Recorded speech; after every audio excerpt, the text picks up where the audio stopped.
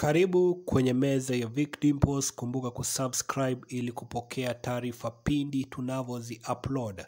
Katika makala ambayo yamepita, tulikuwa tunazungumzia mazishi ya Robert Ouko na jinsi Daniel Arap Moi aliweza kujitokeza katika mazishi hayo bila uoga wowote, licha ya uvumi kusambaa kwote kwamba yeye pamoja na Nicholas Biwott ndio walikuwa wamechangia katika maafa ya kikatili ya Robert Ouko. Bila shaka siku ya leo tutakuwa tunachukua muda kuangazia jinsi watu kumi na saba waliweza kuaga dunia kutokana na kifo cha Robert Ouko na jinsi George Wajakoya aliweza kukimbilia Ulaya ili kuyaokoa maisha yake baada ya kujua ukweli wote wa kifo cha Robert Ouko. Je, ilikuwaje?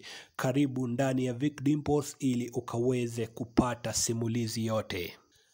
Inasemekana kwamba baada ya kifo cha Robert Ouko, uchunguzi uliweza kuanzishwa ili kubaini ni kina nani ambao waliweza kumuua kinyama Robert Ouko, na hivyo serikali ilianzisha uchunguzi wa moja kwa moja, kando na fununu ambazo zilikuwepo kwamba Ouko alikuwa ameuliwa na watu mashuhuri katika serikali, na hivyo waliomuua Robert Ouko waliamua kutumia mbinu zote zile kuhakikisha kwamba wanafuta ushahidi ambao ulikuwepo ambao ungetumiwa mahakamani kubaini ukweli kuhusiana na kifo cha Robert Ouko, na hivyo inasemekana kwamba kuna watu kumi na saba ambao walipoteza maisha yao, na hao wote waliweza kuangamizwa na wale ambao walikuwa wanahisi kwamba wangetoa ukweli kuhusiana na kifo cha Robert Ouko. Je, kumi na saba hawa walikuwa ni kina nani na ilikuwaje? Inasemekana kwamba mwanzo kabisa aliyeuliwa alikuwa ni dereva wa Robert Ouko, na kifo chake kiliweza kutokea katika njia tatanishi sana. Aliyefuata ilisemekana kwamba alikuwa ni mchungaji ambaye aliufumania mwili wa Robert Ouko. Inasemekana kwamba wengi walihisi kwamba mchungaji huyu angeweza kutoa ukweli wote kuhusiana na kifo cha Robert Ouko, na hivyo inasemekana kwamba aliweza kuuliwa na makatili na hakuweza kujulikana kwamba aliweza kupelekwa wapi. Watatu ambaye aliweza kuaga kwa njia tatanishi alikuwa ni Masinde Muliro. Kwa kipindi hiki inasemekana kwamba Masinde Muliro alikuwa ametumia ndege moja na Robert Ouko wakielekea nje ya nchi, na pindi aliporudi nchini Kenya aliweza kukolaps kwenye uwanja wa ndege na akaaga dunia hapo hapo. Wengine ambao waliweza kujumlishwa katika list hiyo ya watu kumi na saba ilikuwa ni maspai ambao walikuwa wameteuliwa kufanya uchunguzi kwa kifo cha Robert Ouko, na inasemekana kwamba pindi spy hawa walipokuwa wakijua ukweli walikuwa wanaangamizwa katika njia tatanishi ili kuhakikisha kwamba information ambayo walikuwa nayo haikuwa inafika mahali popote pale. Je, George Wajakoya inatokeaje hadi anatajwa katika kifo cha Robert Ouko? Inasemekana kwamba kipindi Robert Ouko anaaga, George Wajakoya alikuwa spy katika serikali ya Daniel Arap Moi, na hivyo tajiri wake kwa jina la James Kanyotu aliweza kumpa kazi ya kuanzisha uchunguzi ili kubaini kwamba ni kipi kilikuwa kimemuua Robert Ouko. Bila kupoteza muda, George Wajakoya alianza kazi yake mara moja, na inasemekana kwamba chini ya wiki mbili George Wajakoya alikuwa amejua ukweli wote. Akizungumza na kituo cha Nation Media, George Wajakoya alikuwa amesema kwamba alikuwa amekwisha wajua wale wote ambao walikuwa wamemuua Robert Ouko, na waliokuwa wamemuua bila shaka ni wale ambao walikuwa wakikisiwa na walikuwa ni watu ambao walikuwa na ranks za juu katika serikali ya Moi. Unapata kwamba kuwa na information kama hii iliweza kumweka George Wajakoya katika hali ya hatari sana, na bila shaka angeendelea kukaa nchini Kenya, bila shaka angeweza kuangamizwa ili akaweze kupotea na information ama ukweli wote ambao ulikuwa unazunguka kifo cha Robert Ouko, na hivyo ilimlazimu George Wajakoya kuikimbia taifa la Kenya na kwenda Ulaya ambako alikaa zaidi ya miaka kumi na saba.